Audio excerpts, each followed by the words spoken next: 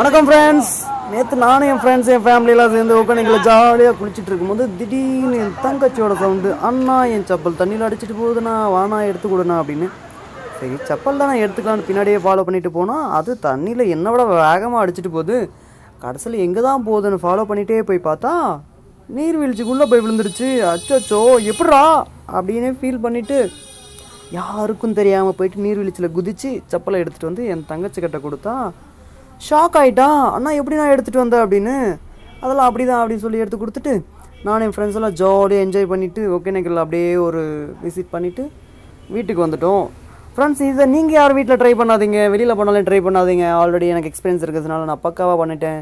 So உங்களுக்கு இது safe கிடையாது ஃப்ரெண்ட்ஸ் மைண்ட் ரொம்ப டிப்ரெஷனாக இருந்தால் மட்டும் மொபைலில் கொஞ்சம் நேரம் ரிலாக்ஸ்க்காக பாருங்கள் twenty four hours video YouTubes Instagram கேம்ஸ்னு addict ஆகாதீங்க. உங்கள் அற்புதமான டைம்ஸை வேஸ்ட் பண்ணாதீங்க. தயவு செஞ்சு ஃப்ரெண்ட்ஸ் கமெண்ட் போட்டு உங்கள் நேரத்தை வீணாக்காதீங்க.